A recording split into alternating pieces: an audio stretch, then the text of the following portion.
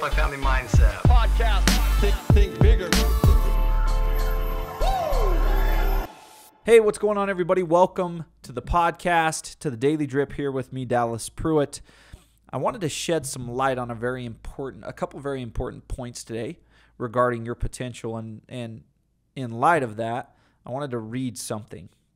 Here it is. It says, People with the growth mindset know that it takes time for potential to flower.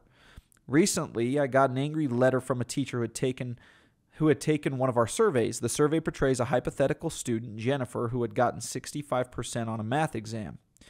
It then asks teachers to tell us how they would treat her. Teachers with the fixed mindset were more than happy to answer our questions.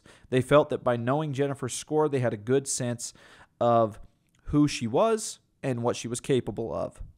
Their recommendations abounded. Mr. Riordan, by contrast, was fuming. Here's what he wrote. To whom it may concern, having completed the educator's portion of your recent survey, I must request that my results be excluded from the study. I feel that the study itself is scientifically unsound.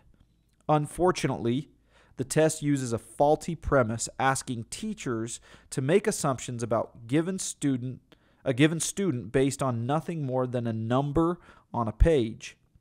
Performance cannot be based on one assessment. You cannot determine the slope of a line given only one point, as there is no line to begin with. A single point in time does not show trends, improvement, lack of effort, or mathematical ability.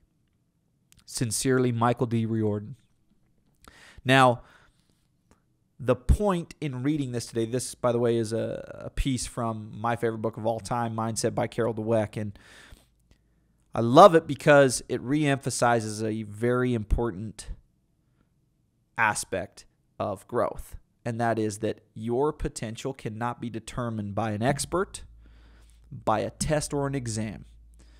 You are the only person that can determine your potential.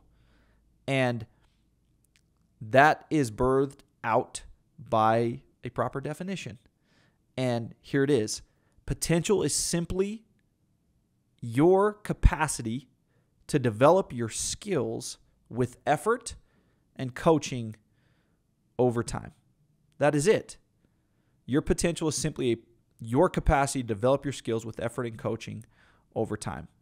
Today, I just wanted to share a reminder that, again, only you can determine your potential, not an expert, not your spouse, not your parent, not your boss, not your coach. They can help. And if they're looking at progress and development through the proper lens, they can help an awful lot. But you, your effort, the accountability to which you hold yourself, and the lenses through which you view the world, those are the things that determine your potential. Remember that. Remember that as you continue forward. And again, nice little plug. If you haven't read Mindset by Carol Dweck, get you a copy. It's a great read. As always, super grateful for you and joining us every single day here on the podcast. And have a great day, and we'll see you guys back here again tomorrow.